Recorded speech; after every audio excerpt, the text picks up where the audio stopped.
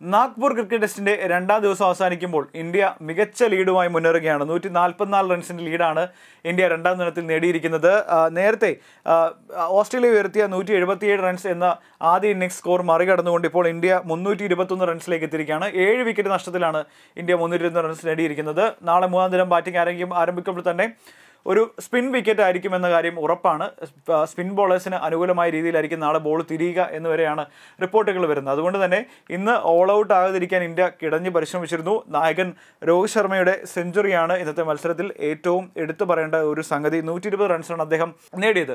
വിരാട് കോഹ്ലി അടക്കമുള്ള മുൻനിര താരങ്ങളൊക്കെ തന്നെ വലിയ രീതിയിൽ പരാജയപ്പെടുന്ന ഒരു അവസ്ഥ കൂടി ഉണ്ടായിരുന്നു. ഏറ്റവും ഒടുവിൽ രവീന്ദ്ര ജഡേജയും അക്സർ പട്ടേലും തമ്മിലുള്ള ഒരു ഇന്നിംഗ്സ് ആയിരുന്നു ഇന്ത്യൻ ടീമിന്റെ നട്ടലായത് എന്ന് പറയേണ്ടി വരും. ഇരു താരങ്ങളും അർദ്ധ സെഞ്ചുറി പൂർത്തിയാക്കിയിരുന്നു. രവീന്ദ്ര ജഡേജ അറുപത്തിയാറ് റൺസുമായി ഗ്രീസിലുണ്ട്.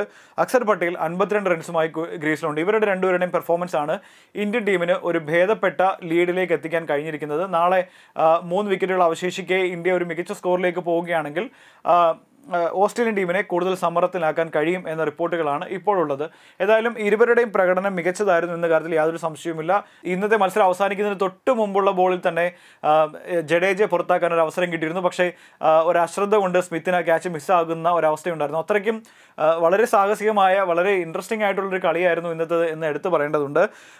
കഴിഞ്ഞ ദിവസം ഉണ്ടായ ഒരു വിവാദത്തെ പറ്റിയിട്ടുള്ളൊരു വിശദീകരണം കൂടി ഇക്കാര്യത്തിൽ വരുന്നുണ്ട്. നമുക്ക് അതും കൂടി ഒന്ന് പരിശോധിക്കണം.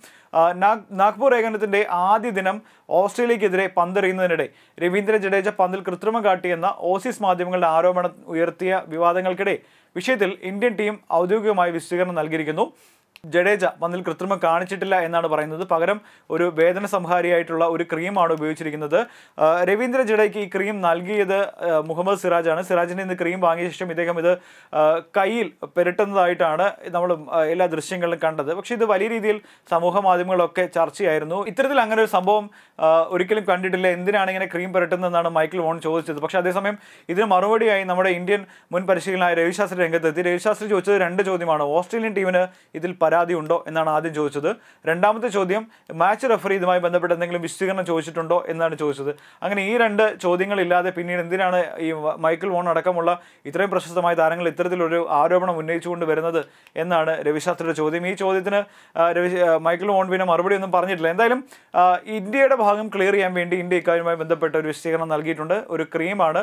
പ്രത്യേകിച്ച് ജഡേജ ഒരു പരിക്കിന്റെ പിടിയിൽ നിന്നാണ് അദ്ദേഹം മത്സരത്തിലേക്ക് വരുന്നത്. അതുകൊണ്ട് തന്നെ അദ്ദേഹത്തിന് പരിക്കിന്റെതായ ചില പ്രശ്നങ്ങളുണ്ട്. അതുകൊണ്ട് അതുകൊണ്ട് അതുകൊണ്ടാണ് അദ്ദേഹം ക്രീം യൂസ് ചെയ്തത് എന്നാണ് പറഞ്ഞിരിക്കുന്നത്. ഏതായാലും ഇതുമായി ബന്ധപ്പെട്ട ഒരു വിശദീകരണം ഇപ്പോൾ മാച്ച് റെഫറിക്ക് നൽകിയിട്ടുണ്ട്. അതിൽ തൃപ്തരാണ് എന്നാണ് മനസ്സിലാക്കുന്നത്. ഓസ്ട്രേലിയൻ ടീമോ ഇതുമായി ബന്ധപ്പെട്ട് എന്തെങ്കിലും ഒരു പരാതി ഇതുവരെ പറഞ്ഞിട്ടില്ല. ഏറ്റവും ഒടുവിൽ രവിശാസ്ത്രി കൂട്ടിച്ചേർക്കുന്ന ഒരു കാര്യമുണ്ട്. നാഗ്പൂരിലെ പിച്ചിൽ പന്ത് സ്പിൻ ചെയ്യിക്കാൻ ഓയിൽമെന്റ് പുരട്ടേണ്ട കാര്യമൊന്നുമില്ല എന്ന് അല്ലാതെ തന്നെ പന്ത് തിരിയുമെന്നും ടേൺ ചെയ്യുമെന്ന് രവിശാസ്ത്രി പറയുന്നുണ്ട്. ഏതായാലും രവീന്ദ്ര ജഡേജയുടെ പ്രകടനം അത് കഴിഞ്ഞ ദിവസം വളരെ ഇമ്പോർട്ടന്റ് ആയിരുന്നു. ഓസ്ട്രേലിയയുടെ ഏറ്റവും മികച്ച അഞ്ച് താരങ്ങളെ പുറത്താക്കിക്കൊണ്ടാണ് ജഡേജ മത്സരത്തിലേക്ക് തിരിച്ചു വന്നത് വളരെ നാളുകൾക്ക് ശേഷം.